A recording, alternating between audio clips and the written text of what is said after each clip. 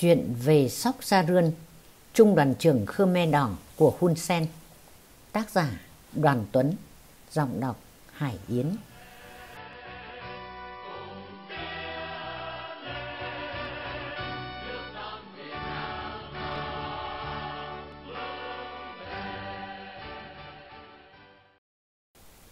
Cả cuộc đời gắn bó với đất nước và con người Campuchia.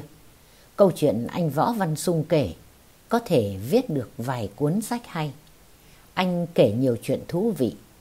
Có lần anh phải ngủ cùng một sĩ quan Khmer Đỏ, một vị chỉ huy quan trọng của một sư đoàn trong quân đội Pol Pot. Đó là viên chỉ huy Sóc Sa Rươn. Ông này trước kia là trung đoàn trưởng, Hun Sen là trung đoàn phó. Khi Hun Sen chạy sang Việt Nam cầu viện, còn lại một mình chính Sóc Sa Rươn cũng bị quân đội Pol Pot theo dõi kiểm tỏa. Mặc dù là một người chỉ huy có kinh nghiệm trong kháng chiến chống Mỹ, nhưng ông bị Pol Pot nghi ngờ, đành cam phục vụ trong quân đội Khmer Đỏ, không thể thoát thân như Hun Sen. Ở lại quân đội Pol Pot từ năm 1978 đến 1989, ông vẫn chỉ là trung tá, trung đoàn trưởng. Trong một lần đi công tác với bạn, anh Sung gặp ông Sóc Sa Rươn, vị chỉ huy lính Pol Pot ngửa bài. Nếu như trước đây, hai bên còn đối đầu, Sung bắt được tôi, lính của Sung cũng hành hạ tra tấn tôi. Và ngược lại, nếu Sung bị chúng tôi bắt, lính của tôi cũng chặt đầu Sung. Có đúng không? Anh Sung gật đầu công nhận. Thấy anh Sung điềm tĩnh, thật thà, Sóc Sa Rươn cũng mở lòng Ông kể cho anh Sung nghe nhiều chuyện về nỗi khổ của ông khi cấp phó của mình đào tẩu. Mười năm trời sống trong nghi hoặc, nhiều đêm nằm nghĩ. Chắc đêm nay là đêm cuối cùng. Nghĩ mãi cũng mệt. Thôi, đành phó thác sinh mạng cho số phận. Và cái đêm công tác đó, Sóc Sa Rươn rủ anh Sung ngủ cùng phòng. Hai giường nhỏ trong khách sạn. Lúc đầu anh Sung cũng lo Biết đâu ông ta muốn thủ tiêu mình. Có nhiều cách lắm. Nhưng chẳng nhẽ từ chối. Còn đâu danh dự người lính. Còn đâu thể diện một sĩ quan quân đội nhân dân Việt Nam. Còn đâu những lời tốt đẹp chúc nhau sáng nay. Những cái bắt tay rất chặt. Và cuối cùng anh quyết định chọn phương án duy nhất, phương án của người lính. Anh đồng ý ngủ cùng Thôi thì phó mặc cuộc đời cho may rủi. Và khi đi ngủ, cả hai cùng có súng ngắn, chẳng ai bảo ai. Cả hai cùng treo đầu giường, coi như cái khăn cái mũ. Anh cũng chẳng mở khóa an toàn, chẳng cần lên đạn, cứ để nguyên trong bao. Súng ngắn súng dài cũng mệt mỏi theo đường chinh chiến của hai người. Thôi, cũng để súng ngủ yên. Anh Sung là người hiểu tiếng Khmer, hiểu phong tục tập quán, hiểu căn tính người Khmer, hiểu tại sao họ ghét người Việt. Họ mang ơn đấy, nhưng nhiều khi trong đời ơn biến thành oán, oán hận mấy đời, chuyện rõ như ban ngày. Nhưng chả nhẽ cứ khư khư giữ mãi vấn đề ấy. Chuyện quá khứ, hiện tại, chuyện chung của hai nước, hai dân tộc, hai chính thể chẳng nhẽ lại biến thành chuyện riêng của hai người. Và cái đêm nặng nề ấy cũng qua một cách không thể nặng hơn và cũng không thể dài hơn. Sáng ra gặp nhau, còn chào hỏi, còn chúc nhau, là còn tin nhau, là còn trò chuyện như anh em dưới một mái nhà. Ông Sóc Sa Rươn từ đó quý mến anh Sung, coi như cậu em. Chuyện gia đình, chuyện riêng tư, Chuyện sau này gặp Hun Sen thế nào, ông đều tâm sự với anh Sung. Câu chuyện của anh Võ Văn Sung kể về ông Sóc Sa Rươn, vị trung đoàn trưởng trước đây của Thủ tướng Hun Sen, rất hấp dẫn. Năm 1989, khi quân đội Việt Nam rút về nước, để lại chính phủ Hun Sen cả một núi công việc bể bột Đất nước còn nhiều khó khăn, sức dân kiệt quệ, nền kinh tế chưa có gì đáng kể. Đó là chưa kể đến tình hình quân sự còn năm bè bảy phái. Phái quân đội của Pol Pot còn rất mạnh. Phái lực lượng của ông vua Sihanouk, phái của ông Son Sen, phái của Lon Non, vân vân. Người Campuchia không thể chĩa súng vào nhau mãi, nhưng làm thế nào để hòa giải các phái quân sự? Làm thế nào để các bên ngồi lại với nhau? Làm thế nào để các bên đối địch không gọi Hun Sen là tay sai của Việt Nam? Làm thế nào để có lòng tin giữa các bên với nhau? Vì ngay các bên đối địch của Hun Sen cũng đầy mâu thuẫn. Ông Hun Sen dựa trên nền tảng triết lý nào để tập hợp họ lại? Ông dựa trên quan điểm nào để thu phục lòng dân, thu phục tinh thần binh lính của các bên? Chả nhẽ van xin các bên cùng hạ vũ khí vì đất nước Campuchia, vì tương lai người Khmer. Khi một vị nguyên thủ quốc gia nói những lời cầu xin như thế, hình ảnh ông ta đâu còn là hình ảnh một thủ lĩnh. Tâm trạng của anh Võ Văn Sung cũng trùng hợp với những suy nghĩ của ông Sóc Sa Rươn. Anh Sung hỏi, làm thế nào anh tiếp cận được với ông Hun Sen? Chúng tôi xa nhau lâu ngày, không có liên lạc gì. Khi biết Hun Sen là thủ tướng, tôi cũng giữ thái độ bình thản. Mỗi người có công việc của mình. Khi Hun Sen kêu gọi hòa giải dân tộc, chúng tôi cũng nghi ngờ vì sợ đằng sau ông ấy vẫn là Việt Nam. Nhưng ông Hun Sen rất chân thành vì chính ông ấy như dân tộc Khmer chúng tôi vừa trải qua địa ngục. Ông ấy có đủ khổ đau để kêu gọi hòa bình, đủ khổ đau để nói chuyện hòa giải. Mang tiếng là trở về với quân đội hoàng gia, nhưng ông Hun Sen vẫn giữ nguyên cấp bậc trong quân ngũ của các phe phái và trả lương đàng hoàng. Trước, chúng tôi đâu có lương, có chỉ là tượng trưng. Điều đó làm chúng tôi an lòng. Thứ hai, ông ấy không làm xáo trộn địa bàn hoạt động của các sắc lính. Quân Khmer đỏ vẫn giữ biên giới, quân Khmer xanh vẫn giữ nông thôn, còn quân của ông Hun Sen vẫn giữ thành phố. Nhìn chung là thế. Tôi nhớ ông Hun Sen nói, Phật dạy chúng ta rằng nên buông bỏ lòng hận thù. Ông giao việc cho quân đội góp phần xây dựng đất nước bằng những việc thiết thực nhất. Và ông Hun Sen phân công lực lượng Khmer Đỏ đi làm đường. Lúc đầu tôi đâu có thích.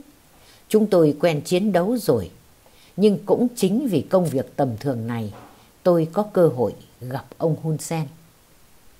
Chuyện xảy ra thế nào? Hôm đó, phóng viên TV quay cảnh chúng tôi đào đất. Khi phóng viên hỏi, tôi trả lời rằng tôi trước đây cùng trung đoàn với ông Hun Sen. Không ngờ ông ấy xem TV và ông ấy cho người đến tìm tôi. Lúc đầu tôi cũng ngại vì ông ấy ở vị trí quá cao. Nhưng nghĩ về tình đồng đội, tôi vẫn về thủ đô gặp ông Hun Sen. Tôi không ngờ ông ấy đón tôi thân tình đến thế chuyện trò như thời cùng trung đoàn. Chúng tôi dần hiểu nhau hơn. Qua nhiều thời gian, ông ấy phong cho tôi chức đại tá cấp sư đoàn trưởng. Tôi cố gắng công tác tốt khỏi phụ lòng tin của ông ấy. Ông ấy là người luôn trọng tình nghĩa, ông Sóc Sa Rân nói. Ông ấy dùng trái tim, dùng tình cảm để thu phục nhân tâm. Tôi rất khâm phục lòng từ bi, sự đại lượng trong tình cảm của ông Hun Sen. Không những tôi mà các tướng lĩnh Khmer Đỏ và các phe phái khác đều cảm nhận được điều này. Anh Sung chia sẻ sự phức tạp của đất nước Campuchia. Ngày mới ổn định, đất nước này có đến 40 đảng phái hoạt động, tranh cử. Giờ có khoảng 20 đảng, mỗi đảng một quan điểm chính trị, một đường lối hoạt động đảng nào cũng nêu khẩu hiệu vì đất nước, vì nhân dân, vì tự do, độc lập. Nhưng ông Hun Sen vẫn lãnh đạo đất nước phát triển, kinh tế tăng trưởng, an ninh ổn định.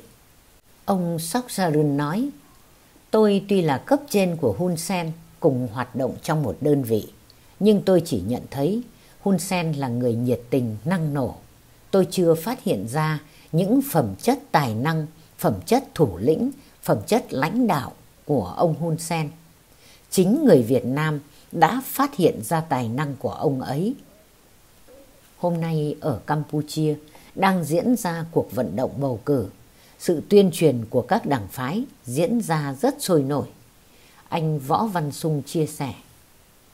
Ông Sóc Sa Rươn đã đảm nhiệm các chức vụ quan trọng như Phó Tư lệnh Quân khu 4, Phó Tổng Tư lệnh Lục quân. Khi bị bệnh mất, ông là tướng 4 sao, Thứ trưởng Bộ Quốc phòng. Ông tâm sự.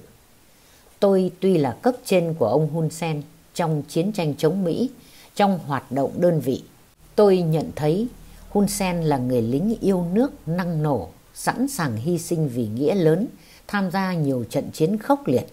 Khi còn trẻ, ông đã trưởng thành là chỉ huy tiểu đoàn, trung đoàn, nhưng sống trong chế độ đố kỵ kìm kẹp của Khmer Đỏ. Ông Hun Sen không thể làm gì được. Đến quốc vương Norodom Sihanouk cũng bị Khmer Đỏ kiểm soát mọi hành động, lời nói. Quốc vương muốn thoát ra cũng không được. Trong khi đó, một số cán bộ cách mạng chân chính phản ứng đã bị thủ tiêu. Bản thân tôi cũng không thể làm gì được.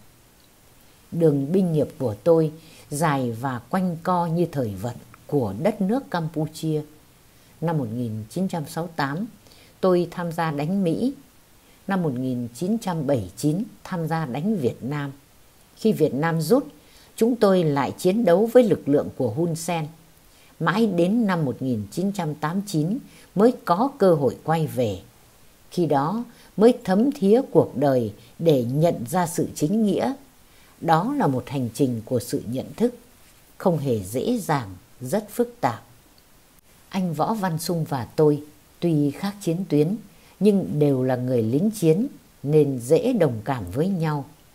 Nhưng làm lính, ai cũng muốn sống chiến đấu cho một lý tưởng đẹp. Lý tưởng đó lại bị các cấp lãnh đạo tranh giành phản bội, lèo lái cả dân tộc vào hận thù, chiến tranh. Anh biết tôi phải đau khổ chừng nào. Sống chiến đấu trong vô vọng. Bỏ đi thì sợ cả hai bên bắt giết tù đày. Chính nhờ ông Hun Sen và mặt trận đoàn kết cứu nguy dân tộc Campuchia đã cứu người dân Campuchia. Trong đó có chúng tôi. Chúng tôi được sống trong hòa bình, ổn định, được phát huy tài năng. Tôi cảm ơn người Việt Nam đã phát hiện ra những phẩm chất tốt đẹp của ông Hun Sen và lắng nghe lời cầu cứu, kịp thời giúp ông Hun Sen. Đó chính là sự nghiệp giúp cho chúng tôi có được ngày nay. Anh Sung tâm sự, đất nước nào, thời đại nào cũng có những con người tài năng xuất chúng, nhưng quan trọng là làm sao để cho những con người xuất chúng ấy phát huy được năng lực của mình. Campuchia còn phúc lớn trong cái họa diệt chủng đã nảy sinh một vĩ nhân dẫn dắt dân tộc qua thảm họa, đưa đất nước đến với hòa bình ổn định. Phải chăng tư tưởng Phật giáo đã thấm nhuần và hồi sinh trong những con người yêu nước Campuchia, trong đó có con người Hun Sen. Ông Sóc Sa Rươn nói, đúng như vậy, chính người dân Campuchia tin tâm linh theo Phật. Khi đất nước hoạn nạn, người tài xuất hiện Họ coi đó là cứu tinh của dân tộc. Cho nên Thủ tướng Hun Sen được coi là hiện thân hộ Pháp do trời Phật phái xuống cứu giúp dân Campuchia. Thực tế là vậy. Nghiên cứu lịch sử Campuchia trên 500 năm qua, đất nước luôn biến động, chiến tranh loạn lạc, nhất là trong thế kỷ 19-20 khi có sự can thiệp xâm lược của Pháp Mỹ đã có 14 lần chuyển giao quyền lực tại Campuchia đã có 81 vị làm thủ tướng quốc trưởng, nhưng họ không đủ thần lực để giữ được chiếc ghế nóng này. Có ông chỉ giữ ghế được vài ngày đã bị lật đổ. Có thể nói đây là chiếc ghế nóng nhất trong lịch sử Campuchia. Nếu không đủ tài trí do trời Phật phú thì khó giữ nổi. Mà không giữ nổi thì dân tình lầm than nên người dân luôn nguyện cầu cho đất nước bình an là như vậy. Trong khi đó, Thủ tướng Hun Sen ngồi ghế này lâu nhất, đất nước ổn định nhất, phát triển nhất. Ông đã lãnh đạo đất nước vượt qua được bao nhiêu thử thách của cuộc chiến. Bao binh biến thăng trầm để giữ vững chế độ này ổn định và phát triển. Ông Hun Sen chính là một vị thánh sống của Campuchia. Ông Sóc Sa Rươn nói tiếp. Còn vấn đề tại sao người Khmer ghét Việt Nam? Có lẽ do lịch sử một đế chế Khmer bị mất vì nuối tiếc một thời vàng son oanh liệt nên người Khmer dễ bị kích động chống nước láng giềng đến cùng, nhất là chống Việt Nam. Đã hơn nửa đời người tôi tham gia cách mạng vì phong trào yêu nước, nhưng Khmer Đỏ cũng lợi dụng đầu độc tư tưởng chống Việt Nam hàng ngày, hàng giờ, chứ đừng nói người dân Khmer. Thủ tướng Hun Sen và chính phủ Campuchia từ năm 2005 đến nay có nhiều bài viết tuyên truyền, bài nói chuyện rất thuyết phục về vấn đề biên giới, về quan hệ Campuchia-Việt Nam. Nhưng tình hình tạm lắng xuống, song đôi lúc lại vụt tăng khi có vụ va chạm xảy ra. Thậm chí hiện nay các đảng phái chính trị hoạt động tại Campuchia mỗi lần bầu cử dân chủ đa đảng cũng lợi dụng vấn đề này để giành phiếu. Cho dù luật đã cấm, nhưng họ vẫn cố tình tìm mọi cách để làm căng thẳng vấn đề, nhằm gây bất ổn chính trị, để thay đổi chế độ tại Campuchia. Cho nên, tại Campuchia, họ thường nói, quan hệ Campuchia-Việt Nam là quan hệ tế nhị nhạy cảm. Còn sự giúp đỡ của người Việt Nam đối với Campuchia họ mau quên và dễ bị ngờ vực là vậy. Đây là điều chăn trở của Thủ tướng Hun Sen, của cả chính phủ chúng tôi hiện nay. Xin cảm ơn anh Võ Văn Sung. Hy vọng anh sẽ kể cho chúng ta nhiều câu chuyện bổ ích nữa nhằm giúp bạn đọc hai bên chia sẻ, thông cảm và hiểu nhau hơn. Tránh bị những phần tử quá khích, tư tưởng dân tộc hẹp hòi kích động. Qua những câu chuyện tâm tình đó, tình bạn giữa anh Võ Văn Sung và ông Sóc Sa Rươn ngày càng bền chặt. Ông Sóc Sa Rươn luôn coi anh Sung như người thân của mình. Anh Sung cũng rất trân trọng người sĩ quan Khmer Đỏ, một thời đối địch, đối đầu, nhưng giờ như người anh thân thiết. Win Nguyên Việt Nam trân trọng cảm ơn quý vị và các bạn đã quan tâm theo dõi. Xin kính chào tạm biệt và hẹn gặp lại.